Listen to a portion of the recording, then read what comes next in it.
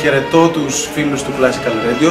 Φίλε Ηλία, καλώς ήρθες στο στούντιο ΣΕ της Ελληνικής Ραδιοφωνίας. Ε, εδώ έχουμε μια συναυλία με ιερό σκοπό, ένα ίδρυμα, είναι φιλανθρωπικός σκοπός. Έχουμε ένα μεγαλειώδες έργο, ένα μεγαλοπρεπές έργο, ίσως το σημαντικότερο έργο της ιστορίας της μουσικής, το Requiem του Mozart.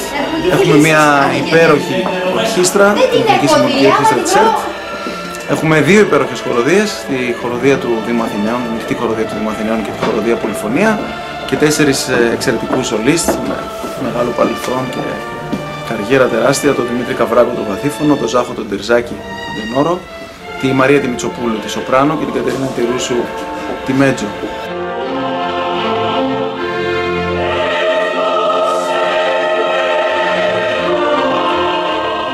Ευχαριστούμε που ήρθατε εδώ. Ε, είναι ωραία να σε αυτές τις συγκινητικές στιγμές που, που ζούμε εμείς εδώ σε αυτόν τον χώρο να νιώθουμε ότι έχουμε και εσάς και ότι αυτά τα πράγματα θα πούμε, θα πούμε προς τα έξω γιατί ευτυχώς ή δυστυχώς η τεχνολογία αυτή τη στιγμή είναι το μόνο εργαλείο να δείξουμε τη δουλειά μας. Ευχαριστούμε πάρα πολύ Classical Radio.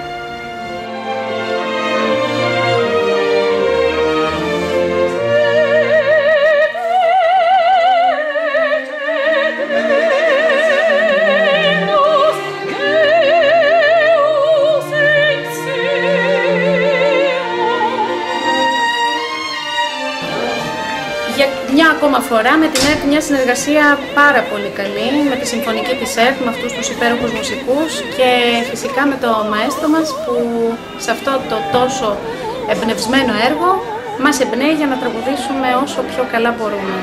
Οι συνάδελφοι εξαιρετικοί, το κλίμα εξαιρετικό.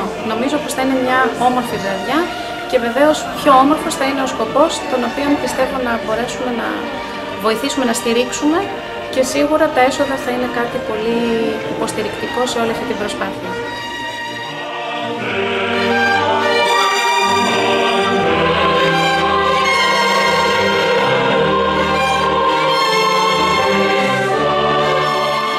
Πραγματικά το έργο είναι καταπληκτικό.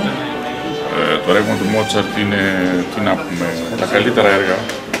Ε, το cast, ε, η χοροδία, όλοι είναι τέλειοι και ο μαέστρος επίσης τέλειος. Προσέξτε τι λέτε, καταγράφονται αυτά.